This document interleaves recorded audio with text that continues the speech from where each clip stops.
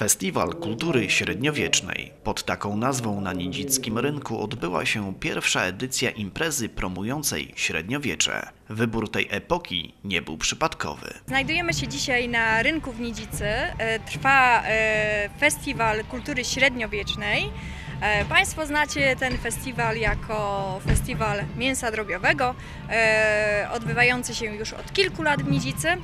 W związku z tym, że jednak średniowiecze trochę bardziej kojarzy się z Nidzicą, e, Urząd Marszałkowski i Urząd Miejski w Nidzicy stwierdziły, że lepiej będzie w kierunku średniowiecza, e, dlatego mamy tutaj piękne stoiska średniowieczne, ale i współczesne. Do Nidzicy przyjechało około 25 wystawców. Na straganach można było znaleźć dosłownie wszystko. Stoisk jest e, ponad 20, około 25, e, z przeróżną tematyką, typowo średniowieczną. Jest jadło średniowieczne, e, stoiska dla dzieci z zabawkami średniowiecznymi, ale też trochę wyrobów e, typowo artystycznych, e, kosze wiklinowe, zabawki drewniane, e, różnego rodzaju kwiatki drewniane.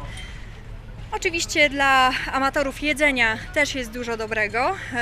Bardzo dobre wyroby z kiełbaski, różnego rodzaju wędlinki, chlebki, ale poza tym też przyprawy. Także dla każdego coś miłego. Nastrój średniowiecza budował zespół Flair de Lis, który przybliżył zgromadzonym, jak brzmiała dawna muzyka. Gramy muzykę dawną, e, z elementami folku, z elementami różnych e, innych gatunków muzycznych, dlatego że tak naprawdę no, ta muzyka dawna jest jakimś takim, powiedzmy, w, takim trzonem, a, a, a my dodajemy dużo od siebie.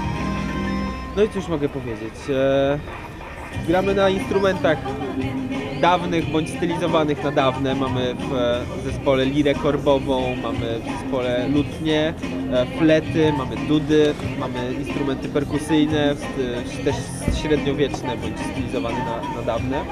Na pewno epoka średniowiecza była okresem bardzo interesującym w historii ludzkości. Obejmowała ona około tysiąc lat. W tym czasie zdarzyło się wiele ciekawych rzeczy, powstało wiele interesujących miejsc i dzieł sztuki, które zachowały się do naszych czasów i ciągle fascynują oraz intrygują nas swoją oryginalnością i uniwersalizmem.